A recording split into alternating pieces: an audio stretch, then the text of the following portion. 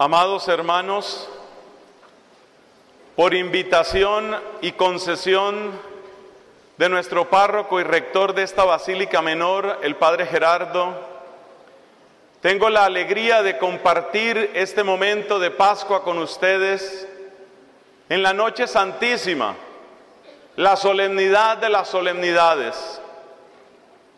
Nuestra fe cristiana nada tiene más grande ni más hermoso, no hay nada más profundo ni más solemne, no hay nada más alegre ni que nos identifique más que esta celebración.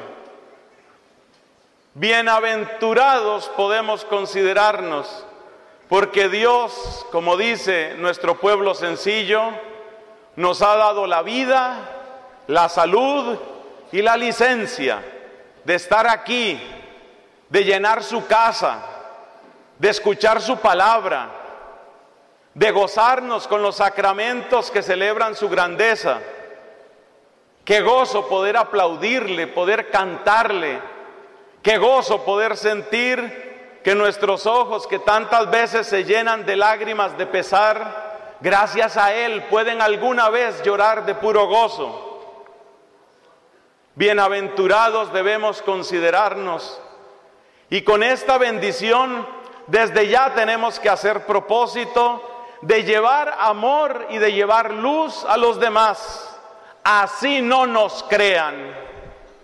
Porque de eso trata exactamente el Evangelio de hoy. Las primeras en el sepulcro de Cristo, las mujeres. Las primeras en recibir el Evangelio de salvación, las mujeres, las primeras en tener conocimiento del resucitado, las mujeres, las primeras en la evangelización, digámoslo claramente, las primeras, las mujeres. Y ellas fueron con ese gozo y ellas fueron a transmitir esa buena noticia y no les creyeron. Era algo demasiado grande era algo absolutamente inédito. Era algo tan completamente por fuera de las expectativas y posibilidades que ellos conocían que no fueron capaces de creer. Y es muy importante, hermanos, asociar a este Cristo que vence la tumba, que corre la losa del sepulcro, porque ese sepulcro es demasiado estrecho para su gloria, hay que asociar a ese Cristo con el Cristo que una y otra vez rompe los esquemas en que queremos encerrarlo. Como decía hermosísimamente el Papa Francisco en su propia homilía para esta vigilia pascual, nuestro Dios es un Dios que quiere y que sabe darnos sorpresas. Somos nosotros a veces los que tenemos miedo de las sorpresas de Dios. Tenemos miedo de que Él cambie demasiado nuestra historia. Tenemos miedo de que Él rompa nuestros esquemas. Así nos enseña el Papa. Pero nuestro Dios, el que se ha revelado plenamente en el bendito Jesucristo, no cabe en un sepulcro, no cabe en una cárcel y no cabe en ningún conjunto de ideas que nosotros queramos tener. Y por eso el mismo Cristo que reventó los impedimentos y los límites del sepulcro, hace otro tanto con el apóstol Pedro y luego con los demás apóstoles. Revienta, estalla cualquier cárcel en la que se le pretende encerrar él es el que vive, Él es el que lo colma todo, Él es el que lo llena todo. Y por eso la grandeza de su gloria atraviesa los siglos. Miles de años han pasado desde estos acontecimientos que hemos oído en el Evangelio de hoy, miles de años. Y sin embargo, la fuerza expansiva de su gozo la podemos sentir hoy con la misma frescura con la misma novedad, con la misma alegría, como si acabara de acontecer. Cristo es el hoy permanente de Dios, Cristo no solamente rompe límites geográficos, sino que se burla de las diferencias culturales, idiomáticas y más allá de todos los límites que nosotros queramos ponerle, Él en español, en italiano, en chino, en latín, en griego, en arameo, es el Señor. Y con su grandeza, con esa deliciosa invasión de su gozo, es capaz de transformar nuestra vida. Qué cambio extraordinario el que trae este Cristo de la Pascua. La nota característica de estas mujeres es el temor. Están tan atemorizadas que no se atreven a levantar la mirada del suelo. La nota característica de los apóstoles es la incredulidad aún teniendo delante la tumba abierta, aún teniendo delante el santo sudario, Pedro no se atreve a creer. El miedo y la incredulidad es una pobre manera de recibir al que trae la gran noticia del amor divino. El miedo y la incredulidad. ¿Y de dónde sale ese miedo? ¿Y de dónde viene esa incredulidad? Tenemos miedo, hermanos, porque estamos acostumbrados a que el poder nos aplasta. Y tenemos incredulidad porque estamos acostumbrados, como dice ese refrán tan común en Colombia, que de eso tan bueno no dan tanto. Tenemos miedo porque muchas veces hemos visto que el que tiene poder lo utiliza para su propio provecho. Tenemos miedo porque hemos visto que los poderosos ascienden en sus propios intereses, subiendo muchas veces por una escalera de cadáveres, aplastando a sus hermanos, prescindiendo de toda compasión, haciendo basura de su prójimo. Y esta es la historia de los que la historia llama grandes.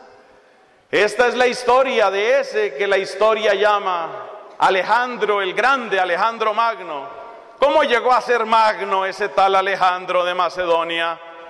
Llegó a ser grande matando mucha gente, muchísima gente, miles y miles. Llegó a ser grande a través de la crueldad, a través de la tortura refinando los métodos de tortura, llegó a ser grande. Y si contamos la historia de un César emperador, si contamos la historia de un Napoleón Bonaparte, si contamos la historia de un almirante Nelson, si contamos la historia de los que el mundo considera grandes, siempre han sido así, arrogantes y con una pezuña inmensa, lista para aplastar al pequeñito, lista para aplastar al pobre, lista para aplastar al indefenso. Esa es la historia que hemos recibido de la historia humana, hermanos. Esa es la conclusión que hemos sacado. Y por eso tenemos miedo.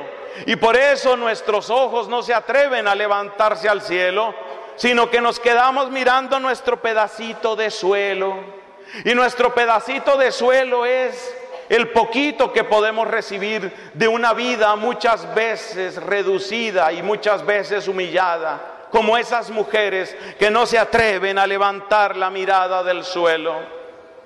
Están llenas de miedo porque la enseñanza, la cantinela que les ha repetido el mundo una y otra vez es que el poderoso tiene pezuña grande y el que tiene pezuña grande aplasta al chiquito y por eso el chiquito tiene que asustarse y por eso hay que hacerle mil venias al poderoso y por eso hay que adular al que nos va a tirar un mendrugo de pan y por eso muchos se venden y venden su libertad y venden su cuerpo y venden su dignidad porque están asustados y porque el miedo les impide mirar otra cosa que su pedacito de suelo. No saben que gracias a Cristo tienen un pedazote de cielo. Eso no lo saben. El miedo les mantiene prisioneros porque tienen miedo de la bota impositiva, de la pezuña despiadada del poderoso. El mundo, la vida les ha enseñado que el poder es así y por eso, por eso tantos de nosotros hemos sido aduladores del poder. Sepan y entiendan todos, hermanos, que aquellos que tienen oportunidad de participar en unas elecciones libres, y que venden su voto por un plato de sancocho o por una borrachera de un día, esos son gente que no conoce su dignidad. Esos son de los que tienen miedo de la pezuña grande, la pezuña del que tiene el poder. Y los que venden hasta sus propios hijos, como lo he visto en algunas poblaciones de Colombia. He visto a madres que saben que sus hijas han entrado en ese esquema asqueroso de prostitución que se llama prepago. Y saben que sus hijas, a veces menores de edad, son usadas vilmente como objetos de placer por mafiosos, por narcotraficantes, por esmeralderos, que nunca se sacian de consumir carne humana fresca. Y hay mamás que saben que eso está sucediendo y ofrecen a sus propias hijas. ¿Por qué? Porque tienen miedo. Miedo de la pezuña grande. Miedo del patrón. Miedo del que tiene un revólver. Miedo del que puede poner una bomba. Miedo del que me puede dar o me puede quitar el único puesto del que recibo sueldo para sostener a mi familia. Necesitamos de la Pascua. Necesitamos de la voz de estos evangelizadores, ángeles santísimos de blancas vestiduras, que nos levantan en nuestra dignidad y que nos dicen, ¿por qué buscan entre los muertos al que está vivo? No está aquí, resucitó, resucitó, anaste se dice en griego. Y es hermosa la ambigüedad que tiene ese verbo, porque anaste también significa se levantó, se levantó. Y la anástasis, la resurrección en griego, es que se levantó, que no se quedó tendido, no se quedó tumbado, se levantó. Y Él va delante de nosotros para que nosotros nos levantemos, para que dejemos de ser un pueblo de asustados, hermanos, un pueblo de miedosos, un pueblo de cobardes que se pliegan frente al pecado. Lo que tenemos que sacar de esta resurrección es fuerza para decir, yo no me vuelvo a arrodillar delante del pecado. Lo que tenemos que sacar de esta fiesta de la Pascua es la convicción, la convicción serena, profunda e inconmovible de que de hoy en adelante yo tengo Señor y se llama Jesús. Yo no tengo patrón, llámese como se llame. Yo tengo Señor y el Señor de mi vida, el que se levantó y el que me enseñó a levantarme, se llama Jesucristo. Y a Él la gloria, el honor y el poder, mis hermanos. A Él, a Él que lo merece todo. Pero luego tenemos el caso de los apóstoles. Ya vemos que las mujeres estaban llenas de miedo.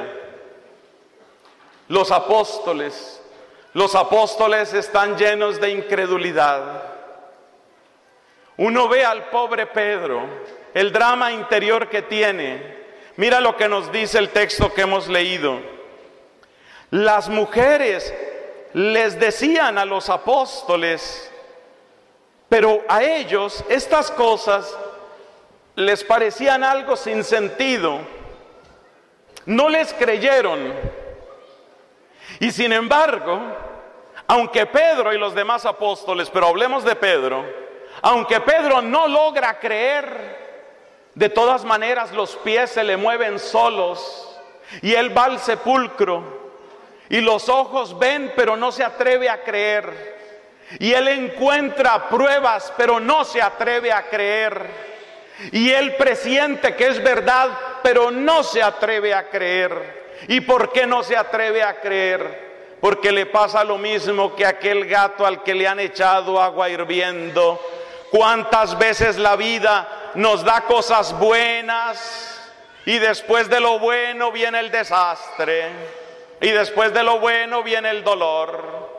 Entonces me presentan una botella de licor y esa botella trae un rótulo que dice, te voy a dar felicidad.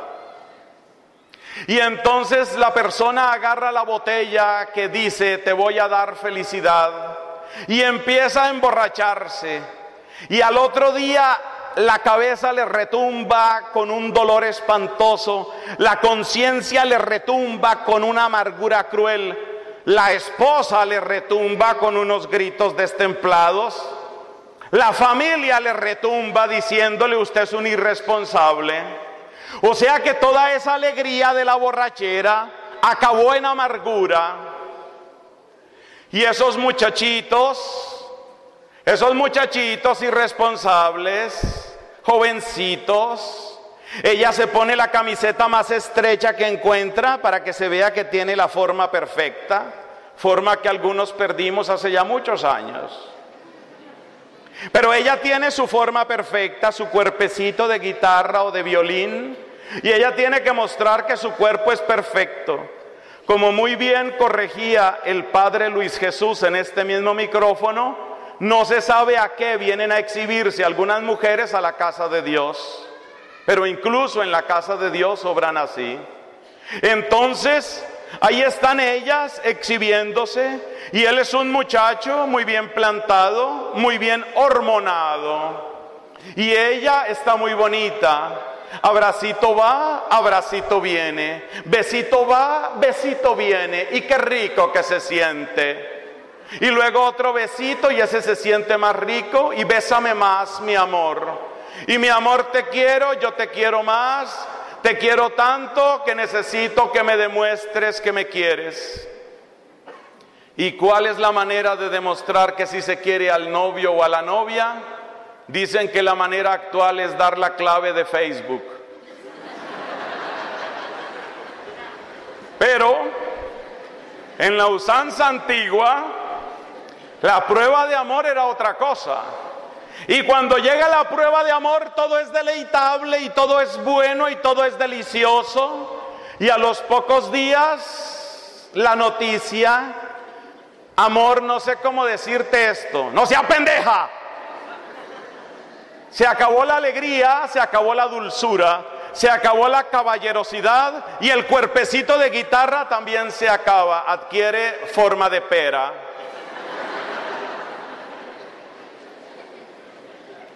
Entonces todo ese placer y toda esa alegría acabó en desastre, acaba en aborto, acaba en madre solterismo, acaba en amargura. Como sucede en algunos pueblos, espero que no sea el caso en Girón. Hay pueblos que mantienen una población estable, porque cada vez que van a ser un niño, un hombre huye. Entonces la población permanece estable. Hermanos, la vida nos ha dado muchas pruebas de que los grandes placeres acaban en desastre las mejores amistades acaban en traición. Los noviazgos más dulces acaban en abortos. La traba más deliciosa acaba en un vicio irreparable. Y de tanto recibir ese baño de agua hirviendo, con la piel escaldada, con el cuero quemado, ya no somos capaces de creer en la bondad. Ya nos cuesta demasiado trabajo creer que haya alguien realmente bueno y que haya una esperanza realmente pura, realmente gozosa, realmente plena para nosotros. Así como aquellas mujeres de manera casi instintiva sienten miedo del poder, así también Pedro siente miedo de la bondad. Porque la bondad le ha resultado siempre mentirosa y el poder ha resultado siempre agresivo. Y como el poderoso siempre ha tenido pezuña grande y como la bondad siempre ha resultado mentirosa, entonces nos cuesta trabajo creer en Jesucristo. Nos cuesta trabajo abrir las puertas y ventanas del alma y dejar pasar el susurro del Espíritu que nos diga, es verdad, no está aquí, ha resucitado. ¿Cuánto trabajo nos cuesta recibir esa noticia? Porque lo mismo que aquellos hombres, lo mismo que aquellos apóstoles, nosotros arrugamos la frente y nos vamos hasta el sepulcro y entramos y no entramos, creemos y no creemos, dudamos una y otra vez. Hermanos, hay una gracia especial en esta noche. No somos los únicos que estamos celebrando la victoria de Jesús. Antes mencioné la santa vigilia que presidió el Papa Francisco en Roma. Millones y millones en todos los meridianos y paralelos de este hermoso planeta celebran, celebramos a Jesús. Hermanos, hay una corriente de amor que recorre el mundo en esta noche. Así como el ángel en la noche de la Pascua pasaba liberando a israelitas y castigando a egipcios, así también, hermanos, en esta noche, millones y millones de ángeles, si tan solo pudiéramos verlos, recorren las calles, los campos y las veredas, susurrando a los oídos de todos los que quieran creer el anuncio glorioso de la Pascua. Esto que fue dicho a las mujeres, esto te lo está diciendo tu ángel de la guarda en este momento. No busques entre los muertos al que vive. ¿Y cuáles son esos muertos? Pues aquí viene la parte central y con esa terminamos, la parte fundamental. ¿Qué era lo que se había muerto en el corazón de esas mujeres? No es únicamente no busquen en un sepulcro al que resucitó. Eso es verdad y es así. Pero la frase va mucho más allá. ¿Qué se ha muerto en ti y por qué buscas a Cristo en eso que se murió en ti? Resulta que dentro de ti se murió la esperanza de encontrar el poder unido a la bondad. Porque tú crees que el poder siempre tiene esa pezuña grande, espantosa y que está listo para destruirte. Y por eso, porque tú crees que tu esperanza está sepultada ahí, por eso no puedes encontrar a Cristo. Resulta que para estas mujeres el poder está asociado siempre a la crueldad y por eso la losa pesadísima o la pezuña de ese poderoso ha aplastado la esperanza. Y para aquellos hombres, la bondad está siempre unida al engaño. Fíjate lo que estoy diciendo, para las mujeres el poder está unido a la crueldad y para los hombres la bondad está unida al engaño. Y debajo de esa losa pesadísima en la cual la bondad está unida al engaño, ellos no pueden creer en la verdad de Dios. Pero ¿y qué pasa si en esta noche Jesús levanta también esa losa? ¿Qué pasa si esta noche Jesús derriba a ese poderoso y quita esa espantosa pezuña? ¿Qué pasa si nosotros, hermanos, en esta noche contemplamos en Jesús el poder que no aplasta y la bondad que no engaña? ¿Qué pasa si esta noche contemplamos a Jesús y vemos en Él el único que es realmente poderoso, no para destruirnos, no para usarnos, sino para servir, servirnos en delirio de amor y comunicarnos su propia vida y hacer que comulguemos en su propia gloria? ¿Qué pasa si esta noche nosotros contemplamos al resucitado y descubrimos en él la bondad que no tiene mentira, como decía Catalina de Siena? Eres dulce sin mezcla de amargor, no hay veneno en ti, no hay engaño en ti. Esa es la noche de la Pascua, hermanos. Esa es la noche de la Pascua, la noche para descubrir el poder que no aplasta y la bondad que no engaña. Esa es la noche para descubrir al que vive. Esta es la noche para decir, hoy resucitan mis esperanzas. Porque si Jesús anaste, si Jesús se levanta, con Él nos levantamos nosotros para ser un pueblo nuevo, que anuncia sus maravillas, que evangeliza, que cuenta a los demás que el amor está vivo y que la última palabra no la tiene el terror, no la tiene el engaño, no la tiene la crueldad. La última palabra solo la tiene Jesús y a Él pertenece la gloria por los siglos de los siglos. Amén.